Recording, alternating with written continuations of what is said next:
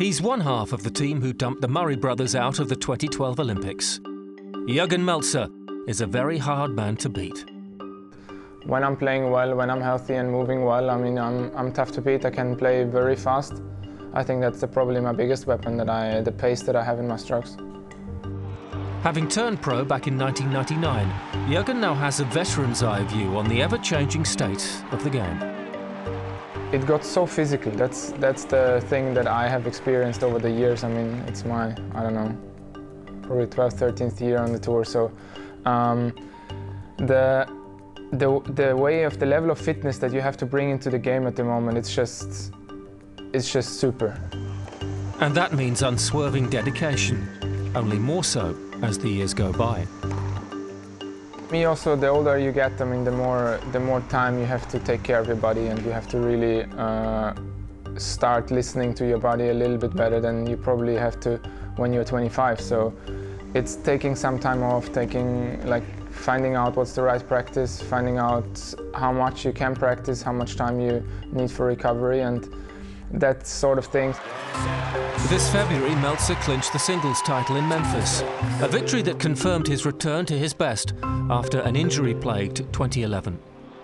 I mean, I was lucky enough to have a career where I'm 30 years old and it's the first season where I really have injury troubles. So I'm, I was blessed with my, with my body that got me through to the whole, to, to, through my whole entire career. So one year is okay. So it was basically the first year in my career where I really had injury troubles and it's tough to recover from them, but considering I still won two Grand Slams, one in mixed and one in doubles, I'm happy with it. With a current singles ranking of 37, it's that fine pedigree in doubles that sets Melzer apart. As well as winning the US Open doubles last year, he also won Wimbledon in 2010. And he'll be taking all that big occasion know-how into this summer's Olympics sometimes winning ugly is enough. I mean, at the end of the day, it doesn't matter if you played well or if you like really played bad, but it's the W that counts, and that's what you have to get at the end of the day. And the more wins you have, I mean, once you get through first, second round, it's I think you feel more comfortable on the court. You you know the the challenges around you. You know the balls better. You know how to string the racket, you know, every, all of these things you, you get together after two, three matches, and that's why it's so important to start well. Jürgen's participation at the London Olympics meant one sacrifice. He couldn't play in the Bet at Home Cup Kitzbühel in his home country, Austria. They missed their number one in the Alpine Resort, but Melzer has done much to make tennis fashionable again, back home.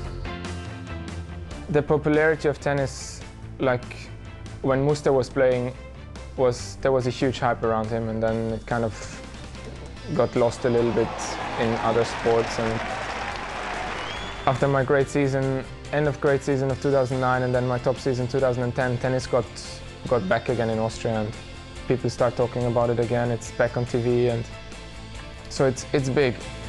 There was no Melzer, but in Kitzbühel, Holland's Robin Haase would be defending his title.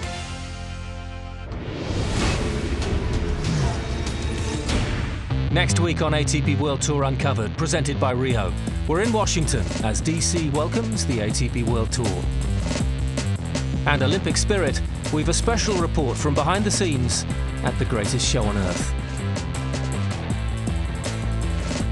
Don't forget to log on to atpworldtour.com for your 24-7 breaking news and talk with us on Facebook and Twitter. See you next week.